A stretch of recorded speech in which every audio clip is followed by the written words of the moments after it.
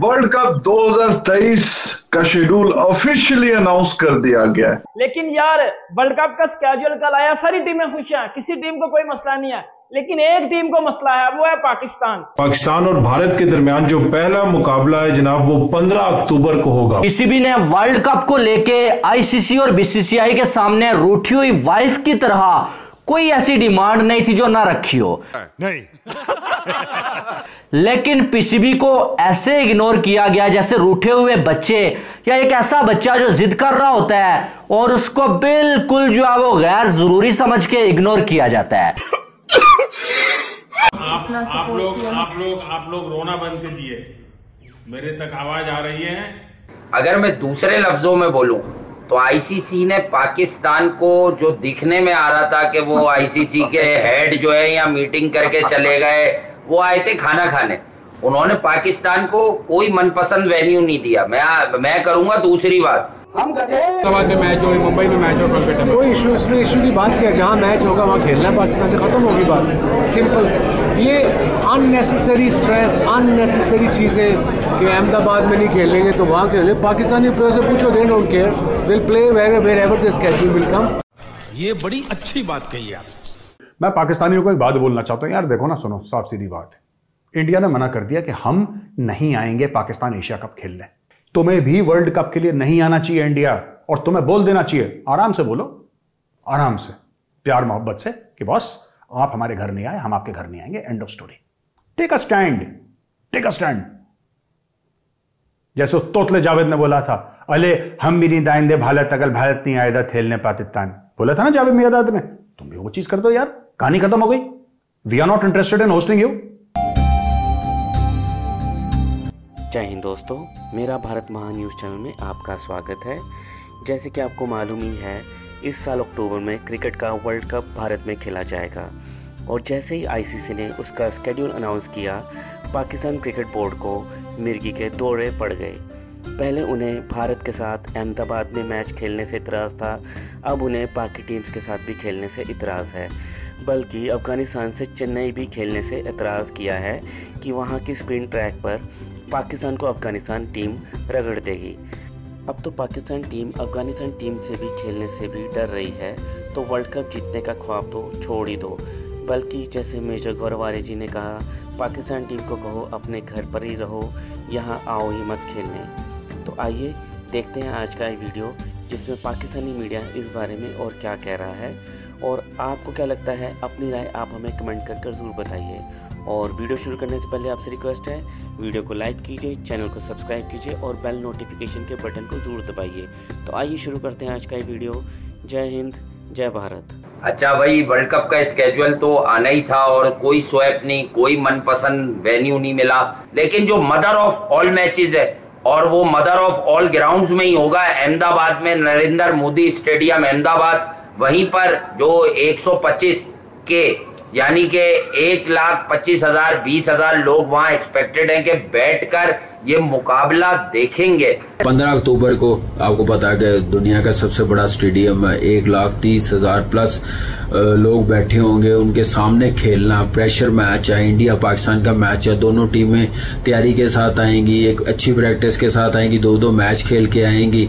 तो इस मैच की हाइप सबको पता है। कि दुनिया को पता है prime minister Narendra Modi prime minister Shehbaz Sharif दोनों को आईसीसी ने अहमदाबाद में मैच देखने की दावत दी है। और सर पीसीबी वर्ल्ड कप के स्केड्यूल से खुश नहीं है। पीसीबी अब ये कह रहा है कि हमारे जब नजम सेठी ने बीसीसीआई और आईसीसी को बोला था कि पाकिस्तान और इंडिया का मैच अहमदाबाद में ना रखा जाए। क्योंकि अहमदाबाद में जो है, मुस्लिम कम्युनिटी के ऊपर जुल्म किया जाता है, मुस्लिम कम्युनिटी को बुरा भला कहा जाता है और उधर हमारे खिलाड़ी जब जाके खेलेंगे तो उनके ऊपर हमला हो सकता है और फिर हम अहमदाबाद में नहीं खेलेंगे। क्योंकि यार, आप जब वर्ल्ड कप खेलने के लिए जा रहे हैं ना, आप इतने सालों से वर्ल्ड कप की तैयारी कर रहे थे तो आपको फिर हर एक कंडीशन की तैयारी होती है। अगर आप जो है वो फ्लैट पिच पे नहीं खेल सकते या आप टर्नर पे नहीं खेल सकते तो आप तैयारी किसकी कर रहे थे?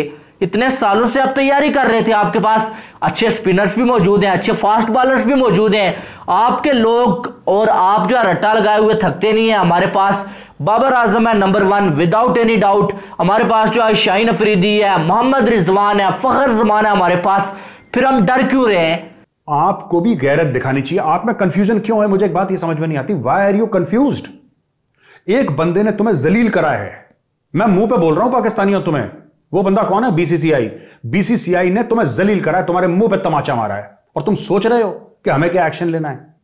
We are not interested in hosting I would seriously request Pakistani जो पाकिस्तानी आवाम है, मैं उनसे बोल रहा हूँ, आप अपनी क्रिकेट टीम को बोलिए, आप पीसीबी को, पाकिस्तान क्रिकेट बोर्ड को बोलिए। कि सर, वो यहाँ पे नहीं आए, आप लोगों को वहाँ पे नहीं जाना चाहिए, कहानी खत्म। हमें नहीं चाहिए क्रिकेट का रिश्ता आपके साथ, आपके मुँह पे बोल रहे हैं।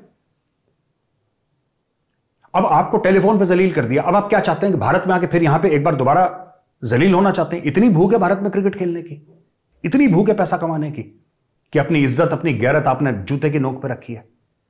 आप में इतनी गैरत होनी चाहिए, आप आराम से प्यार मोहब्बत से भारत को बोलिए कि बॉस, आप नहीं आए थे ना? अब ये उम्मीद मत रखना कि पाकिस्तान भारत आएगा, हम भी नहीं आएँगे। कहानी खत्म करो यार, रिश्ता तोड़ो, नहीं चाहिए तुम्हारे साथ रिश्ता। मतलब भाई वर्ल्ड कप कुछ अर्सा पहले तक बड़ी बातें चल रही थी कि अगर इंडिया यहाँ नहीं आएगा तो हम भी नहीं जाएँगे। बड़ी बड़ी लोगों ने बातें की, बट इंडिया अब भी नहीं आ रहा हाइब्रिड मॉडल में एशिया कप हम जा रहे हैं। तो क्या हमारे एडमिनिस्ट्रेटर्स को इतनी बड़ी बड़ी बातें करने से पहले सोचना चाहिए था कि ग्राउंड रियलिटीज क्या है कोशिश क्या है और दूसरा शुरू मैंने बात की क्रिकेट तो हम कैसे बचा सकते हैं दोनों कंट्रीज़ की political decision I'm all for egos अगर आपकी ईगो है, अगर आप समझते हैं कि ये गलत हो रहा तो बोलें। But again move on then ये नहीं करेंगे, ये करेंगे तो ये नहीं होगा। फिर वहीं खड़े ना जहाँ शुरू हुए थे फिर। So always plan it always think कि क्या हम ये कर सकते हैं, कि हम जो बात कर रहे हैं, कि इसको ख़त्म करेंगे। अगर नहीं कर सकते तो डोंट डू इट सबसे बड़ा मैच इंडिया वर्सेस पाकिस्तान कहाँ खेला जाएगा किधर खेला जाएगा अहमदाबाद में खेला जाएगा। नरेंद्र मोदी स्टेडियम गुजरात अहमदाबाद एक लाख तीस हज़ार लोग बैठे होंगे। ये भी स्टेडियम छोटा पड़ जाएगा क्योंकि इंडिया की आपको पता है आवाम कितनी है फिर लोग दुनिया से आए होंगे इस मैच को देखने के लिए। और ये मैच दुनिया का सबसे बड़ा और डिपेंड भी इस मैच पे कर रही होती है आईसीसी और इस मैच का लेवल सबको पता है कितना बड़ा होगा।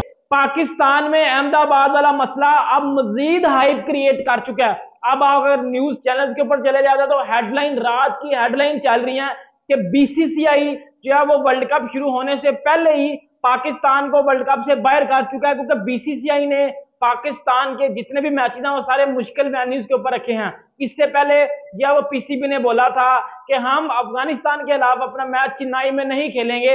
वो वेन्यू हमारा चेंज किया जाए, क्योंकि चेन्नई एक स्पिनिंग ट्रैक है और बीसीसीआई जो है वो फेवर कर रहा है अफ़गानिस्तान को।